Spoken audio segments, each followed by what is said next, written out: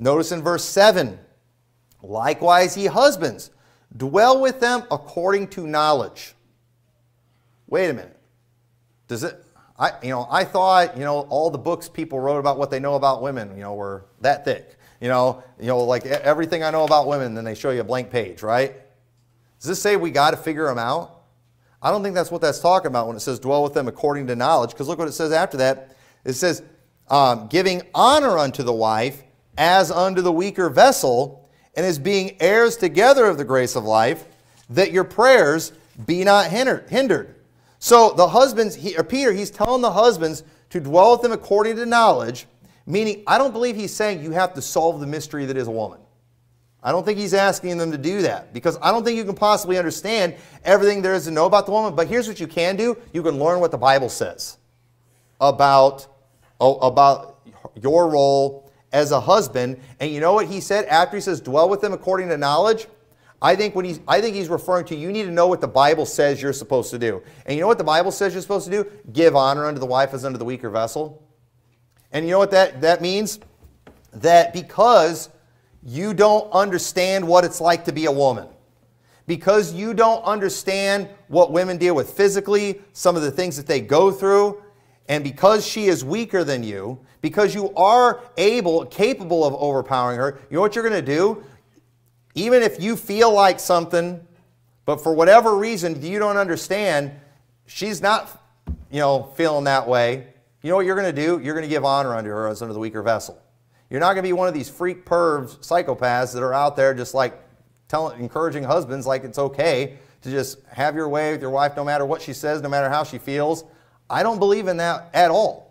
I believe we should give honor unto them as unto the weaker vessel. I've been accused of being a feminist because of that. Okay, and, you know, and you know, the types of freaks accusing me of that, I'll, I'll, I'll take anything negative from them. I just wish they'd name me when they're calling me that so everybody will know I am not a freak like that because that's wicked.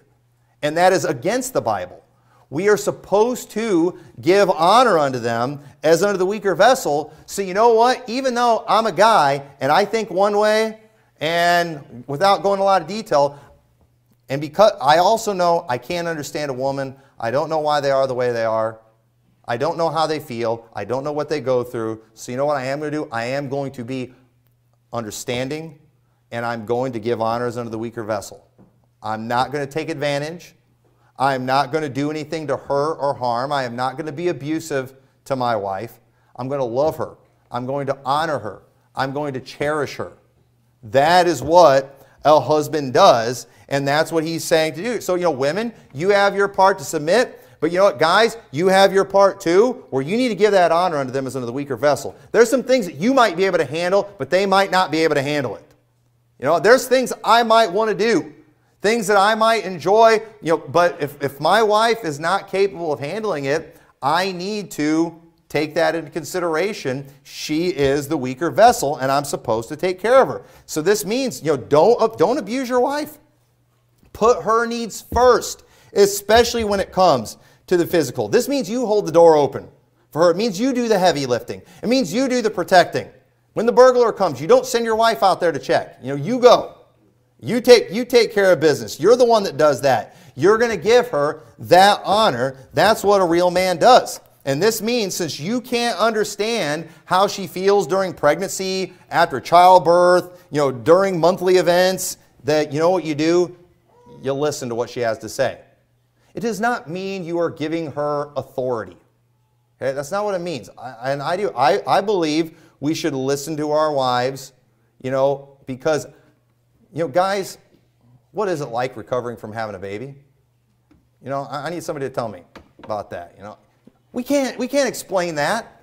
We don't know what it's like to be pregnant. We can't possibly understand any of those things.